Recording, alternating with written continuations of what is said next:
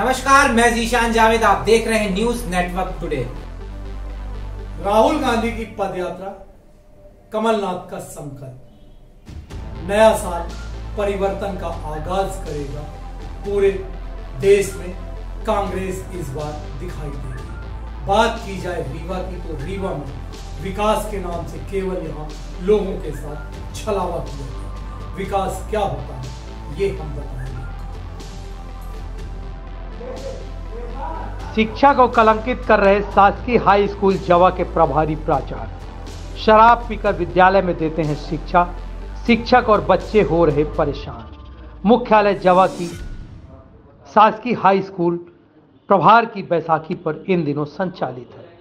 विद्यालय का माध्यमिक से हाई स्कूल में उन्नयन तो हुआ, लेकिन वहाँ पर शिक्षकों की भर्ती नहीं हो पाई।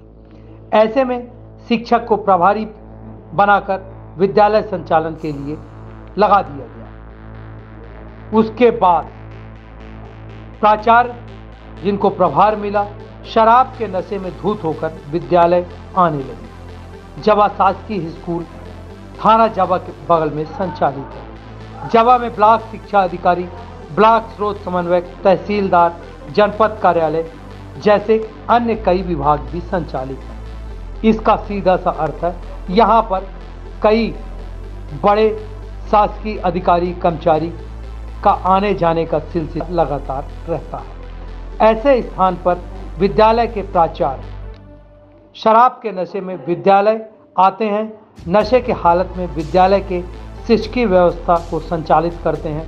अब आप खुद सोचिए, किस तरीके से छात्र छात्राओं को पढ़ाया जा रहा होगा, उनके भविष्य किस तरीके से खेला जा रहा है। आज की तारीख का जवा स्कूल का एक बड़ा सवाल।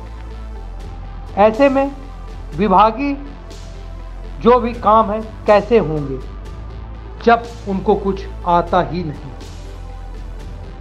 जब हमारे टीम ने विद्यालय में पहुंचकर प्रभारी प्राचार्य से बात करने की कोशिश की तो वो नशे में धुत नज़र आए।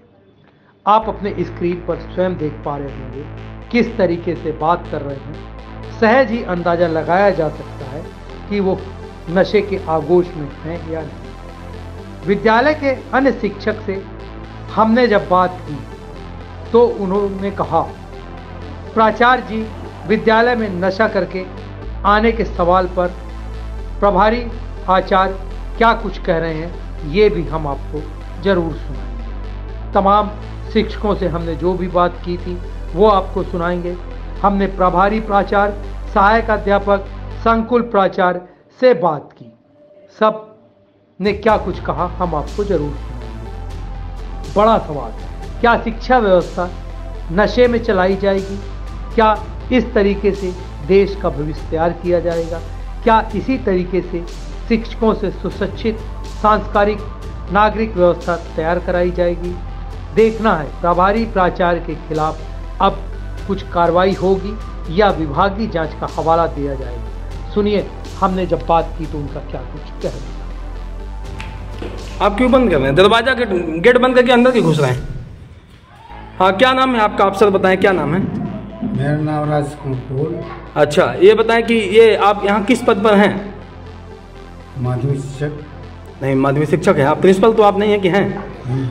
तो ये आपके बारे में लगातार शिकायत आ रही थी कि आप यहाँ ड्रिंक करके आए हैं। वर्तमान से आपकी जो आँखें लाल है आप जिस तरीके से बर्ताव कर रहे हैं तो ऐसा लग रहा है कि मतलब जैसे आप ड्रिंक किए हों। हैं? आज आपने क्या पढ़ाया क्लास में? आ- आज परीक्षा थी। हाँ? समय विज्ञान परीक्षा थी। हाँ हाँ अच्छा।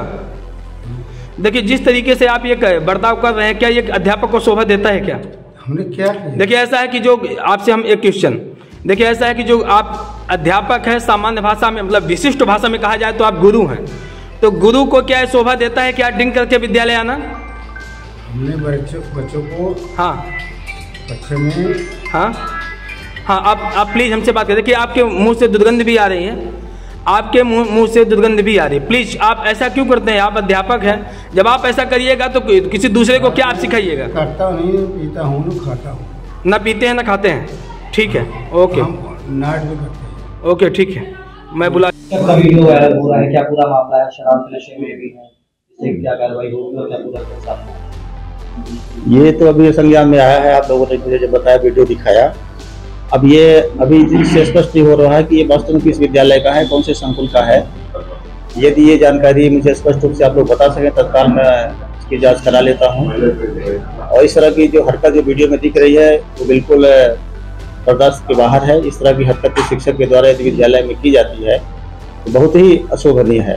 बताया जा रहा है जवाहर हाई स्कूल है शीतला। अब वो चूँकि फ़ोटो से नहीं पहचान के बताया जा सकता कि मतलब कौन से स्कूल का है ये लेकिन इसको हम पता लगा लेते हैं।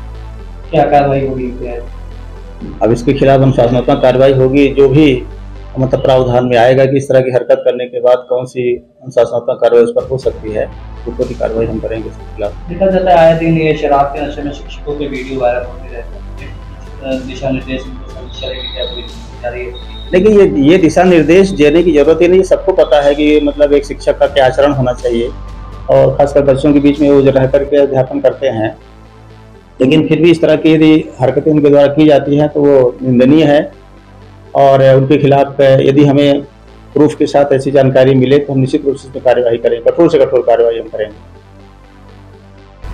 ताज़ा तरीन खबरों के लिए न्यूज़ नेटवर्क टुडे से जुड़े रहिए, चैनल को सब्सक्राइब करिए और बेल आइकन दबाइए और देखते रहिए न्यूज़ नेटवर्क टुडे।